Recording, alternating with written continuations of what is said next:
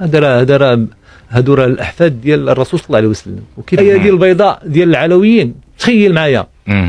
كثيره وكثيره على السكان ديال الجزائر. نعطيك أنا غير واحد النموذج بسيط. ما تنعرفوش السلطان محمد الثالث أها. اللي حكم المغرب من عام 1757 لعام 1790 هو اللي اعترف بميريكان اعترف بميريكان باستقلال. هو يا. مزيان. واعلن الحرب على أمريكان. هادشي ما كنذكروهاش. علاش؟ أها قول لي. على ود الاسرى الجزائريين. الله. رجعوا لواشنطن. جورج واشنطن خليني أنا من المغاربة باش ما يقولوناش حنا كان وطنيين بزاف. أها. رجعوا للأرشيف الأمريكي. أييه. أش فيه؟ محمد الثالث يعاتب جورج واشنطن.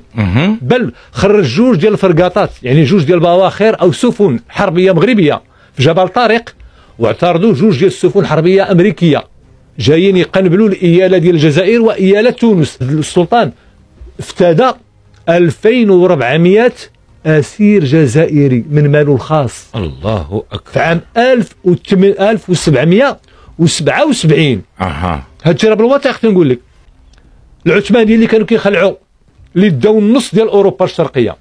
وداو العالم العربي كامل والعالم الإسلامي. اييه علاش جاو المغرب ووحلوا ما قدروش يدخلوا. علاش في نظرك؟ لولا الآية ديال البيضاء ديال العلويين. محمد الأول.